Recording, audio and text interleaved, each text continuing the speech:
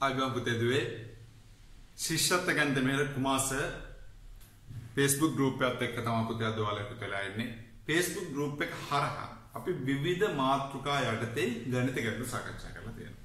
ඒ ගණිත ගැටලු සාකච්ඡා කරද්දී සහ අපේ ක්ලාසස් වල ඉන්න දරුවන්ට අපි දෙන ප්‍රශ්න පත්‍රවල දරුවන්ට හදන්න අමාරුයි කියලා දැනෙන ප්‍රශ්න වලට උත්තර දෙන්න මාධ්‍යයක් විදිහට තමයි පුතේ කුමාස YouTube channel එක අපි තෝරාගෙන තියෙන්නේ. කුමාස YouTube channel එකේ මේ වගේ ගණිත ගැටලු ගොඩකට තොරතුරු ගොඩකට උත්තර ලබා ගන්න කොහොමද කියලා පුතේ මේ අද කරනා වගේ වීඩියෝ වැඩසටහන් තියෙනවා. ඔයා කුමාස YouTube channel එකට ගිහිල්ලා ඒ channel එකේ ශිෂ්‍යත්ව ගණිත ගැටලු කියන playlist එක ක්ලික් කරලා බලන්න මම මේ කියපු කතාව ඇත්තද කියලා. ගණිත ගැටලු 20කට ආසන්න ප්‍රමාණයක් දැනට තියෙනවා. තව 100කට ආසන්න ප්‍රමාණයක් පුතේ ඉස්සරහට හම්බ වෙන්න තියෙනවා. ඔයාලා. ඒ හින්දා දරුවනේ කිසිම අවස්ථාවක මිස් කරගන්න එපා ලැබෙන ගණිත ගැටලුවක් උත්තර ලියන්න.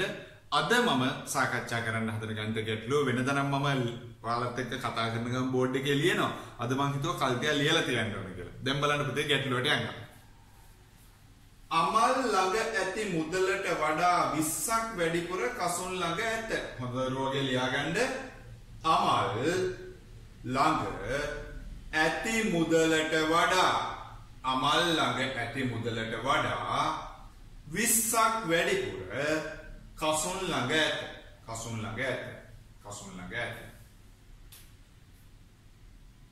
කසුන් ළඟ ඇති මුදලට වඩා කසුන් ළඟ ඇති මුදලට වඩා කසුන් ළඟ ඇති මුදලට වඩා 10ක් වැඩිපුර 10ක් වැඩිපුර සාගර ළඟ ඇත. සාගර ළඟ ඇත. සාගර ළඟ ඇත. සාගර ළඟ ඇත.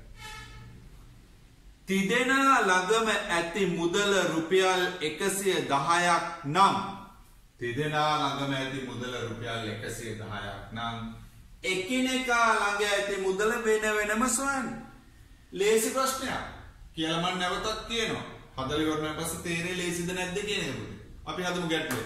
ඔයාලා පුතේ වීඩියෝ එක පුෂ් කරලා නතර කරලා ප්‍රශ්න ලියාගන්න ලියාගෙන ඉවරලා තනියෙන් ඉස්සරලා හදන්න හදලා ඉවර වෙලා උත්තරේ බලන්න හරියට. දන්නේ නැති දරුවෙක් අමාරු දරුවෙක් ඉන්නවා නම් වීඩියෝ එක එකපාරක් බලන්න ප්‍රශ්න ලියාගන්න පොතක හදන්න නැවත බලන්න. ඕක තමයි පුතේ මේ YouTube වල එහෙම නැත්නම් මේ වීඩියෝස් දිහා බලාගෙන ඔයාලා ඉගෙන ගන්න ක්‍රමය. මේවා හරි ලේසි පුතේ. ඔයාලට කැමති ඕන වෙලාවක ඕන මොහොතක ඕන තැනක ඉඳන් මේ වැඩේ කරන්න පුළුවන්. ඉස්සර වගේ අපි ක්ලාස් යන්න ඕන කියලා කතාවක් නැහැ දැන්. ඔයාලට ඉගෙන ගන්න තියෙන රිසෝසස් මාර්ග ගොඩක් තියෙනවා. ඉතින් ඒ හින්දා මොනෑම ක්‍රමයකට හරි ඉගෙනගෙන දක්ෂ දරුවෙක් විදිහට 2021 ශිෂ්‍යත්වයට බාහිර මුණ දෙන්න පුළුවන්. අපි යන් ගැටලුව විසඳන්න. හරි? මම මේ තොරතුරු ටික මේක මකලා සාරාංශ කරලා ගන්නවා මේ විදිහට. මම හැම වෙලාවෙම කියන දෙයක් තමයි අපතේ ගානක් හදද්දී ගානේ තියෙන තොරතුරු ටික හරි ලස්සනට පිළිවෙලට අපි ලියා ගන්න ඕන. ඉස්සරලාම මේ ගාන කියා යද්දී ඔයාලට තේරෙන්නේ මේකේ තුන් දෙනෙක් ඉන්නවා කියලා. මිනිස්සු තුන් දෙනෙක් ඉන්නවා. කවුද බලමු මිනිස්සු තුන් දෙනා? කවුද බලමු මිනිස්සු තුන් දෙනා? අමල්, කසුන්, සාගර. අමල්. අමල්. කසුන්, සාගර. පැන පේනවා මදියට නේ පුතේ. මම බ්ලැක් පෙන් එකට පෙන්නන්න. අමල්, කසුන්, සාගර. අපි දැන් යනවා. අමල් ළඟ ඇති මුදලට වඩා 20ක් වැඩියෙන් කසුන් ළඟ ඇති. අමල් ගාව තියෙන මුදල දන්නේ කොටුවක් දාගන්න. කසුන් ගාවට ගියා ඒ කොටුව එහෙම්මම දාගන්න. අමල් ළඟ ඇති මුදලට වඩා කියන හින්දා තමයි පුතේ කසුන් ගාවත් කොටුවක් දාගන්න කියලා කිව්වේ. අමල් ළඟ ඇති මුදලට වඩා 10ක් වැඩිපුර. sorry 20ක් වැඩියෙන් කසුන් ගාව තියෙනවා. කසුන් ගාව ඇති මුදලට වඩා 10ක් වැඩිපුර සාගර ගාව තියෙනවා. සාගර ගාවට යද්දී කසුන් ගාව තියෙන මුදල් ප්‍රමාණය එහෙම්මම සාගර ගාව තියෙනවා. ඒකට තව 10ක් වැඩි. මෙන්න මේ ටිකේම එකතුව. මෙන්න මේ ඔක්කොගේම එකතුව රුපියල් 110යි. රුපියල් 110යි. රුපියල් 110යි. දැන් පුතේ හරි සිම්පල් 20යි 20යි 40යි 10යි 50යි. 50ක් අඩු කරන්න.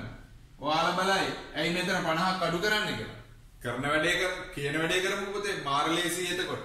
20යි 20යි 40යි 10යි 50ක් එකතු වෙලා තියෙන හින්දා ඒකෙන් මේක අඩු කරනවා.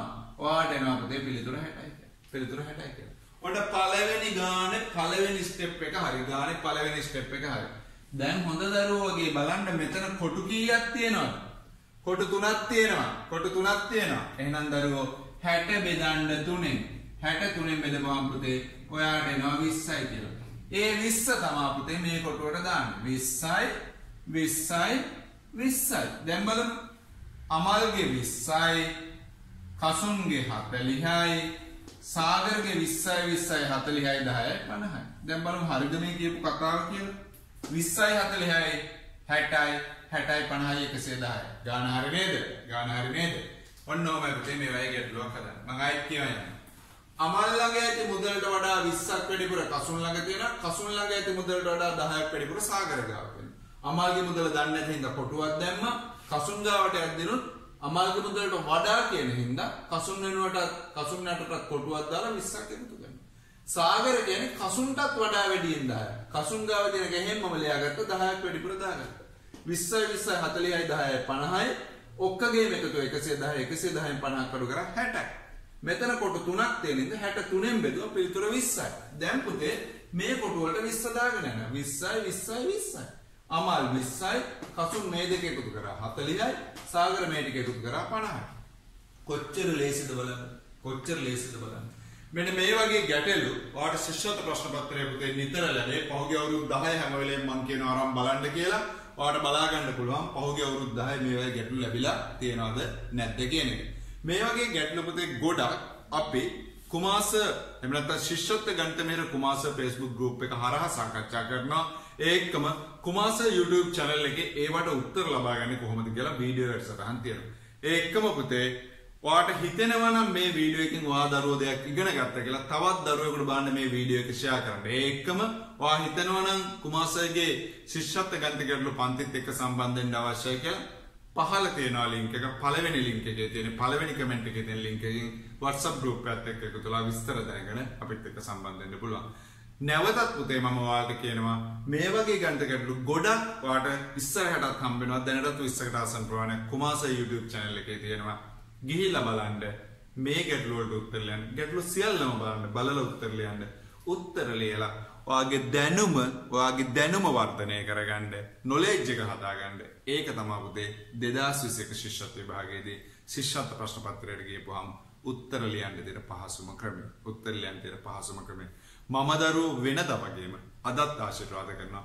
නැවතත් මේ වගේ වීඩියෝ එකකින් හම්බෙන තෙක් ඔයාලගේ අධ්‍යයන කටයුතු හොඳින් කරගෙන යන්න අවශ්‍ය දැනුම ශක්තිය ධෛර්යය නොඩුව ලැබෙන්න කියලා. ආයුබෝවන් දරුවෝ